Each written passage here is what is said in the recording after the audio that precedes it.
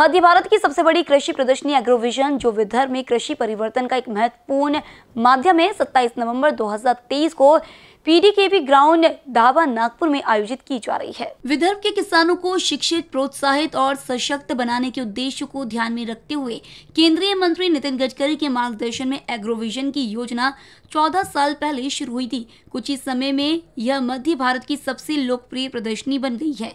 कार्यशालाएँ, जो कृषि प्रौद्योगिकी प्रशिक्षण का केंद्र बिंदु है, राष्ट्रीय और अंतर्राष्ट्रीय स्तर के उत्कृष्ट प्रौद्योगिकी प्रस्तुति हॉल, कृषि में नवीनतम विषयों पर कार्यशालाएँ सम्मेलन जो विदर्भ के कृषि उद्योग को नई दिशा देते हैं।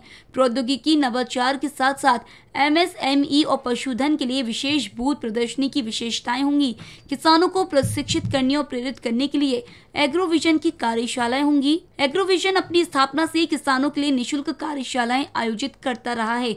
एग्रोविजन के प्रमुख कार्यशाला में उत्पादन तकनीक, नई खेती के तरीके, संयुक्त उद्यम उन्नत तकनीक बाजार सुविधाएं पशुधन प्रबंधन इंफ्रास्ट्रक्चर पर जोर दिया जाएगा। इस बात की जानकारी केंद्रीय मंत्री नितिन गडकरी इन्होंने पत्र परिषद में दी है।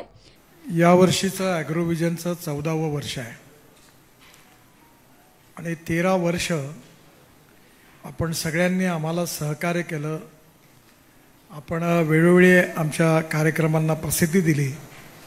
याबद्दल आपल्या सगळ्यांचे मनापासून आभार मानतो.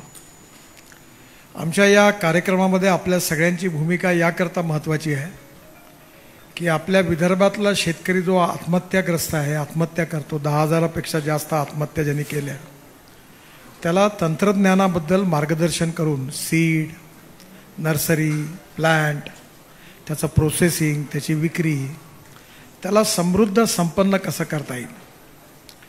जसं स्मार्ट शहर झाली आहे तशी स्मार्ट विलेजेस कसे होतील?